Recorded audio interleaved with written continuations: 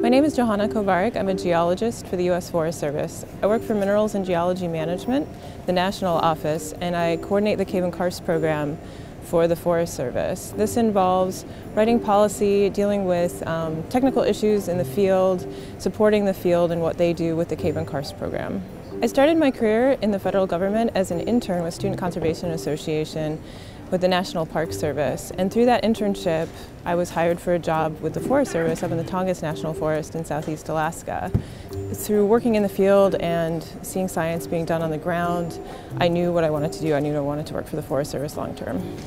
I would tell students to look for internships with GeoCorps or with Student Conservation Association or one of the other um, internship programs that work with the federal agencies. It's a good way to get your foot in the door and it's a good way to not only experience the federal agency and see if you actually want to work for the government, but also for them to get to know you.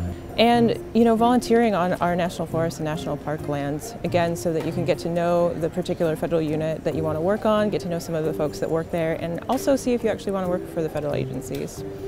Oh, I could talk for hours about what I love um, working for the government. We get to work in some of our nation's most beautiful places.